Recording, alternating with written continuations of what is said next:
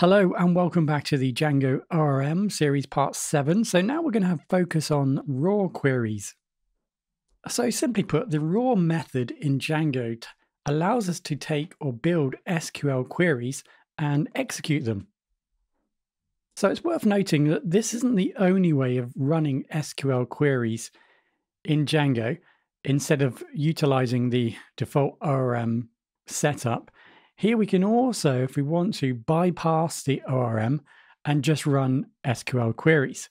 So we'll talk about that in a, in a later tutorial.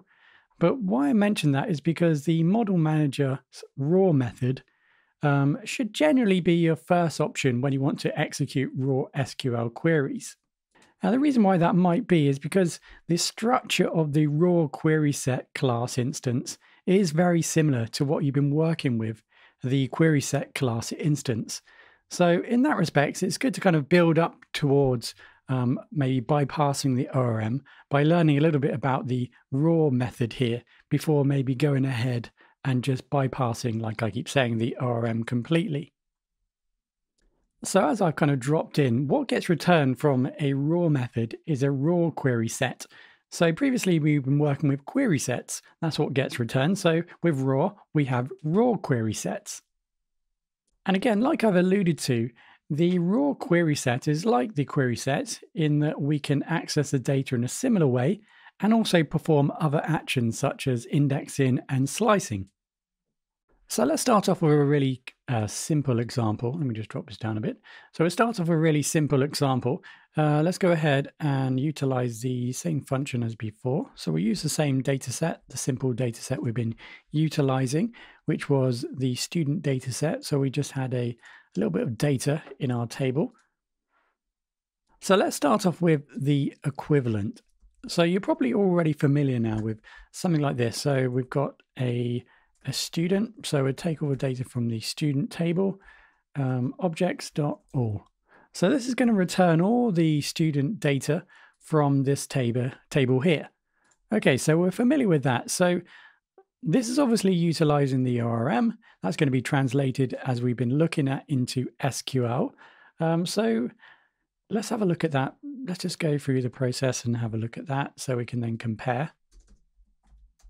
So here I'm going to print the outcome um, and then also utilize connection queries. So that will output the SQL and some performance measurements. So let's go ahead and do that. So I am using a template, so I just need to refresh that. You can see that it outputted all the data. And then down here, um, you can see that we have the query data, the query set, as I've described it, and then the SQL query. So select um, all from the table, and then we got the time it took to execute. Okay, so that's the SQL query right there. For anyone wondering why I'm refreshing a page and not maybe utilizing the console, it's worth noting that you could also run these codes, or run this code, sorry, in the in the console or the terminal here if you wanted to. I just run them here, so it just makes it easier to um, save and see and run. So I have set up the URLs and the views. If you're not familiar to this tutorial series. So this code is available in the description. So let's go ahead now and run an equivalent. So we're just going to uh, block that out. Um, so let's go ahead and now create a equivalent using raw. So again, we, we use posts. Um, this is going to equal student again, and then we use objects. And this time we select raw Oh, raw. There we go. So now what we need to do is actually run the SQL query, so the equivalent query here. So this is where it comes in useful, understanding a little bit of SQL, of course. So we're going to run select. It doesn't have to be upper um, case, of course.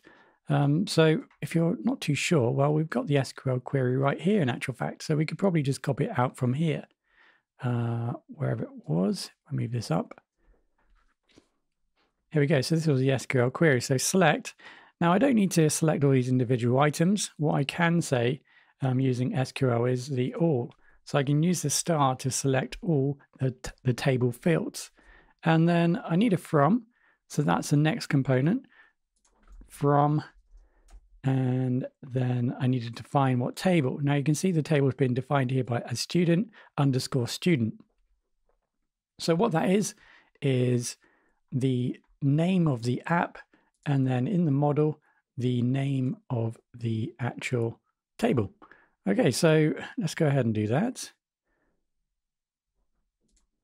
So from student underscore student. Okay, so let's go ahead and see if that works. So I'll go back into my template here, refresh, and you can see that we're returning these items here. So let's just double check we're doing the right thing. Um, let's just see if we can break it. There we go. Uh, so we put it back. And there we go. So we're returning three items, all the data from the database. And there we have it. So that's running a, a simple select statement. So let's go ahead and just um, expand this slightly and just select some individual items possibly. Okay, so let's just use a, an actual, let's just use a where and then maybe age equals 21. So let's go back into our table. So we should receive one item or return one row here, um, which is this one here. So let's go ahead and just save that and refresh. And there we go. So you can see the SQL working um, and then potentially how this works and how you can now kind of inject your SQL into the Django raw function here so that we can perform actions on the database. So maybe at this point, I'm not showing you the whole picture at this point.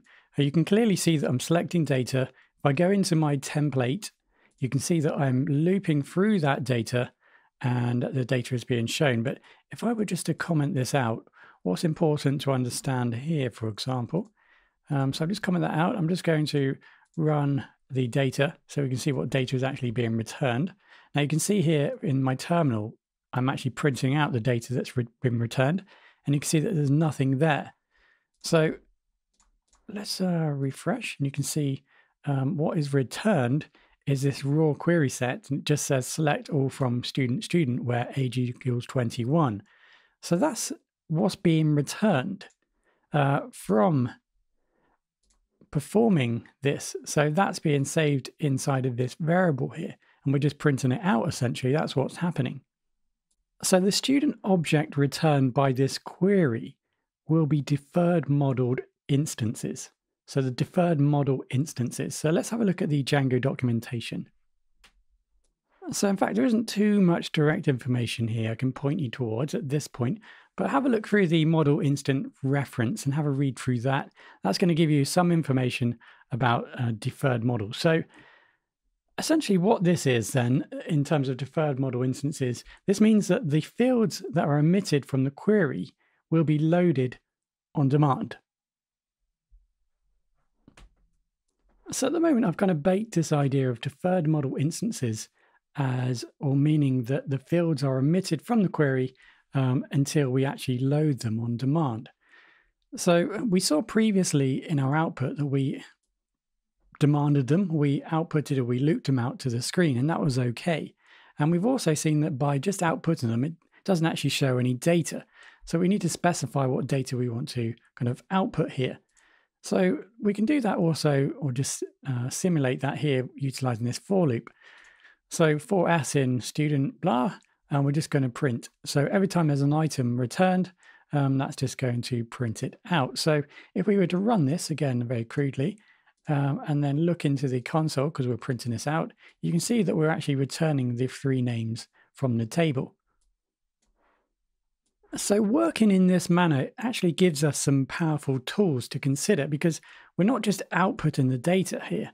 We can then go ahead and, for example, use something, for example, like mapping, where we can actually then map the data that's returned from the data over to some sort of naming convention. And that can be a really useful tool to have. So mapping is something a little bit more advanced, which we'll talk about in a, a tutorial later on. Uh, so let's just go with the basics here. That we've created a very simple raw uh, function here, utilizing the SQL statement, select all from students. Obviously, you can change and play around with this if you're familiar with SQL. So we hopefully understand the kind of the basic principle here that we're utilizing deferred model instances. So we need to actually uh, load the data on demand. So I gave you that example. If I just save this again, we go back into the output here, you can see that I'm demanding or I'm requesting the first name and the age. I'm just kind of looping that out through that through the data and remove that. And then we can go back into the template and you can see that this is what I'm actually presenting or printing onto the screen. So if you're working with long SQL queries, you might want to bring in the SQL query as a variable. So you can go ahead and maybe do something like this, uh, SQL equals, uh, and then the, the query. So let's just run the query here. And then you can just bring in the SQL right here, for example. That just allows you to kind of break things up a little bit. Um, so that would run exactly the same, one would assume. So let's go back into here, just make sure that's working. We refresh, and there we go. So that just outputs exactly the same. So as I alluded to at the start of this tutorial, you can go ahead now and utilize some of the other tools that we have available. For example, here, the limiting the query set, we can limit the amount of objects that return. So here, I've just gone ahead after the raw function here, utilize this. I've limited it to two rows. So let's go ahead and have a look at that. And it's just returning the two rows, for example. So it's worth reading through this, um, this limiting query set uh, documentation or making queries, sorry. And this just give you some more examples of how you can manipulate and change and the functions that you can include generally with query sets.